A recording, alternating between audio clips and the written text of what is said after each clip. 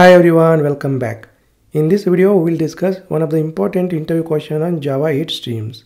Well, here is the problem statement. You have a list of employees and you need to group the list of employees by age using Java 8 streams. Okay, so basically you have a list of employees and you need to group the list of employees by their age using Java 8 stream. Well, Java Stream API provides collectors.grouping by method to group the elements based on certain attributes. Well, this grouping by method basically works like a group by clause in a SQL statement. Okay, so let us go ahead and let us see how to use this collectors.grouping by method to group the list of employees by their age. Let us go to our project in IntelliJ IDEA and here let's create a new class. Let us give class name as group employees by age next within this class let's create a main method. Well here we are going to group the employees by age. So let us create a employee class. So just type class and then give class name employee. Within employee class let us define the instance variables. So here private int id and then private string name and then private int age to keep it simple let us have these three instance variables. Next let us create a constructor. Right click generate. Choose constructor. Select all these fields. Click on ok. Next create a getter methods to get you know values of these instance variables. So here right click generate and choose getter. Select all these fields. Click on ok. Perfect. Next let us also create a toString method over here so right click generate to string, select all these fields click on ok. Perfect. Now our employee class is ready. Next go to the main method. Within a main method let's create a list of employees. So here just type list and then pass employee and then give name as employees. And here let us use arrays.aslist method to add object to the list. And here just pass the employee objects so new employee and then pass id as a 1 employee name let us give Ramesh and then age 30 next let us add a few more employee objects.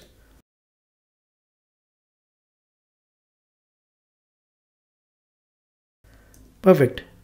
Now we have a list of employees. Next let us see how to group the employees by age so here first we need to convert this list into stream. So here let us call the list that is employees. It has a stream method. So we use stream method to create a stream from this list. So just call this stream method. Next this stream method basically returns a stream object that contains these employee objects. Okay? So here just call collect method on the stream object. And notice here collect method expect the collectors utility class. And this collectors utility class basically implements the collector interface. Okay just call this collect method over here. And then pass collectors utility class. Make sure that you import collectors utility class from java.util.stream package. Next this collectors utility class has a grouping by method. Well grouping by method works similar to group by clause in SQL statements. And if you can notice here there are three overloaded grouping by methods and we have to use based on our requirement. For example, in our example, we are going to group the employees by age. So we have to pass the age as a field to this grouping by method. And this grouping by method basically returns a map. It contains key value pairs.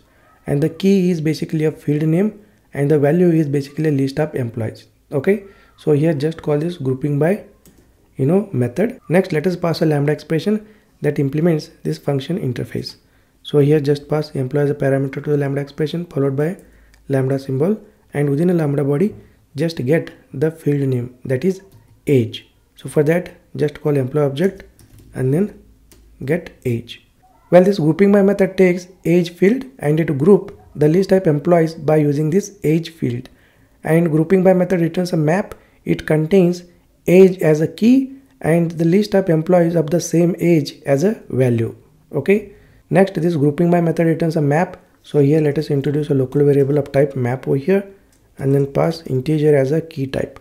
Well, here basically the key is age. So age is a type of integer. So just pass here integer as a type of key and value basically is a list of employees. So here just pass the type list and then employee. Next let us give the variable name map. Okay. Next let us iterate over this map and print age and corresponding list of employees. So here map it has for each method and then pass key value pair to the lambda expression.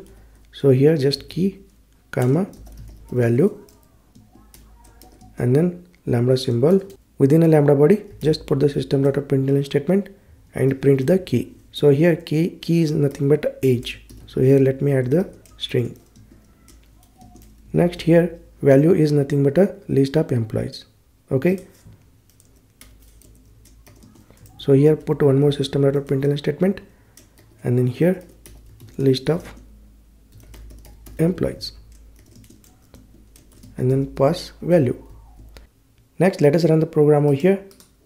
And here you can see the output age and the corresponding list of employees so here you can see the age 30 so there are two employees who has age 30 and here also there are two employees who has age 28 and here is only one employee that has age 35 and here is also one employee that has age 32 so here basically we have grouped a list of employees by their age.